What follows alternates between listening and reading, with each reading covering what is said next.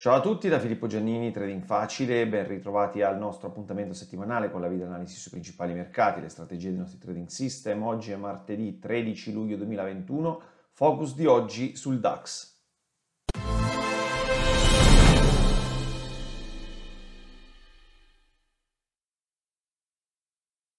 Prima di iniziare, al solito, andiamo a vedere quali sono i prossimi appuntamenti gratuiti sul nostro sito www.tradingfacile.eu dove trovate eh, tutta la reportistica inerente ai nostri trading system. Vi segnalo il prossimo webinar gratuito, webinar che avrà luogo lunedì prossimo 19 luglio alle ore 18, iscrizioni già aperte, trovate il link qui cliccando sugli eventi della settimana sul nostro blog. Mi raccomando, eh, al solito iscrivetevi per tempo in maniera tale da ricevere poi il reminder sulla vostra casella di posta elettronica. Non dimenticate inoltre di iscrivervi ai nostri canali social, canali YouTube, Facebook e Telegram in maniera tale da ricevere eh, gli avvisi sulla pubblicazione di nuovi contenuti gratuiti e rimanere sempre aggiornati con tutte le nostre iniziative. Bene, diamo la parola ai grafici. Oggi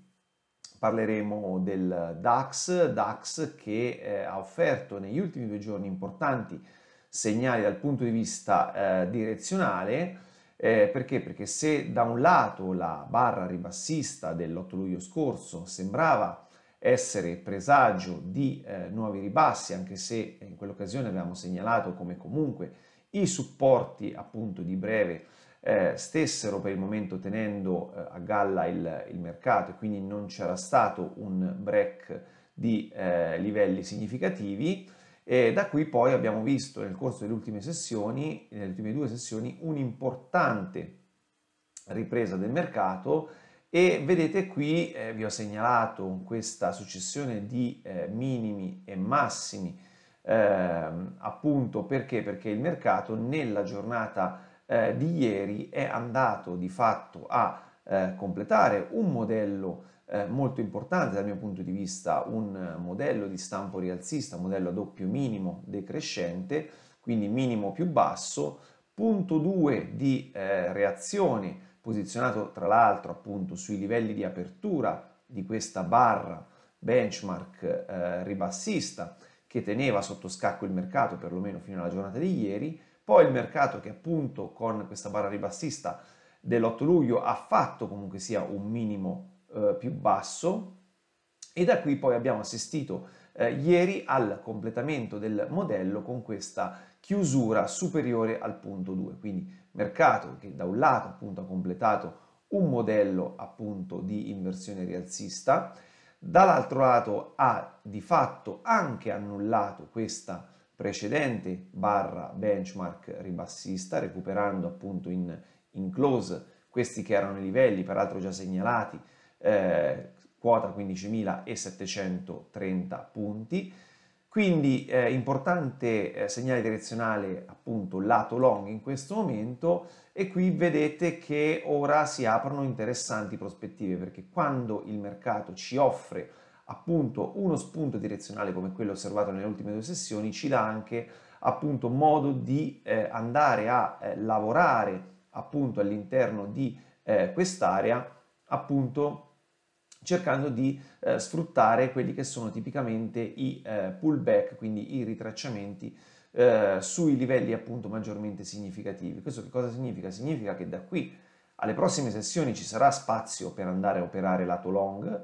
eh, sfruttando magari ecco, dei, dei, ritracciamenti e quindi quelle che sono poi le reazioni sui supporti nell'ottica di eh, appunto sfruttare e cercare di posizionarsi long ad un prezzo di carico migliore rispetto a quello che potrebbe essere un'operatività appunto sul breakout di nuovi massimi, tenendo conto anche che siamo sui massimi storici e quindi ci sta anche che il DAX potrebbe in un qualche modo andare a stornare qualcosina, però insomma ecco tenendo conto che il target appunto offerto da questo modello è un target che appunto si posiziona intorno a quota 16.180-16.200 punti, lo vedete qui, qui ci siamo aiutati anche con i livelli di Fibonacci. Detto questo però, eh, secondo me conviene maggiormente appunto ecco, monitorare le eh, correzioni anche in ottica intraday perché eh, ad esempio il primo livello eh, utile è quota intorno a quota 15.640, 15.630 punti,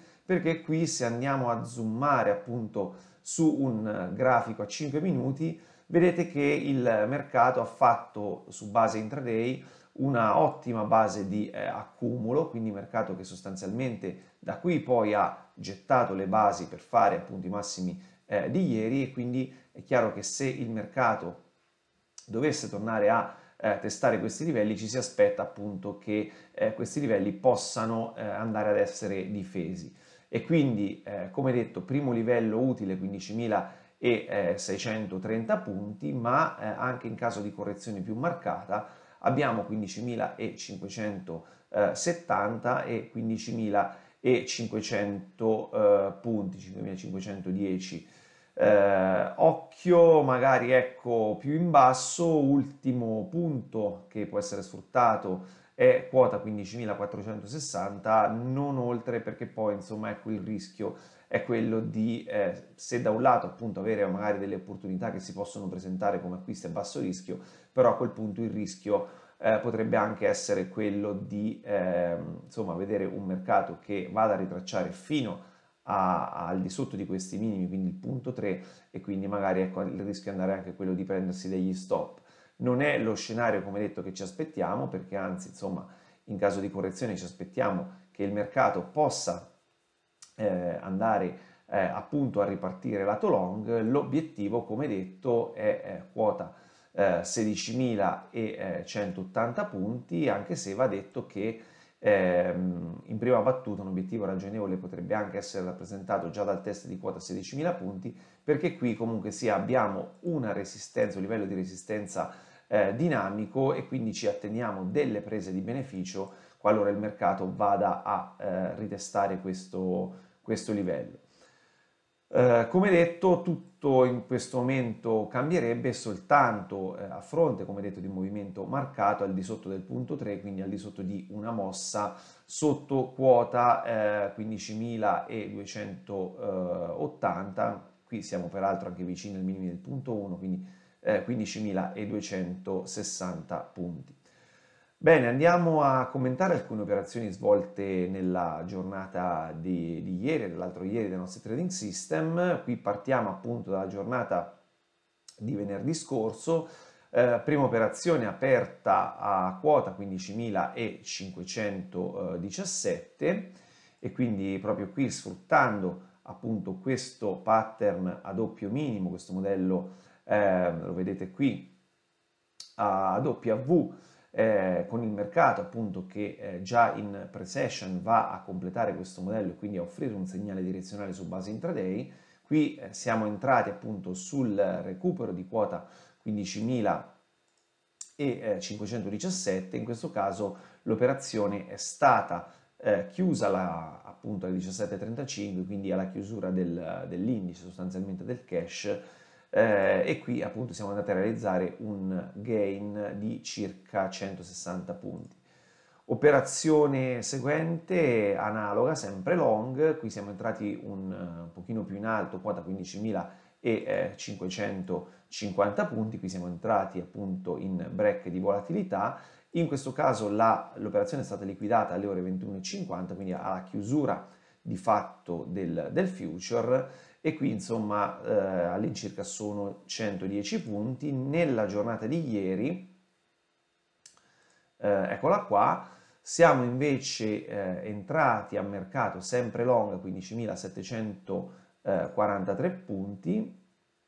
quindi eccoci qua, quindi qui il, il, sostanzialmente il pavimento del quale vi eh, parlavo prima, marcato che ha fatto questo doppio minimo per poi appunto ripartire long e quindi eh, in questo caso appunto siamo passati da 15.740 a 15.780, quindi circa 40 punti di gain.